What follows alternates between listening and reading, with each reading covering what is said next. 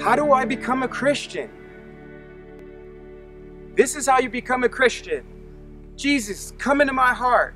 Jesus comes in your heart. God, forgive me of my sins. And mean it. And he comes and he forgives you of your sins. And then you got to go to church. Come on. You got to be the part of the body of Christ, part of God's kingdom. And then that's not it. You got to read your Bible to get to know who he is, right?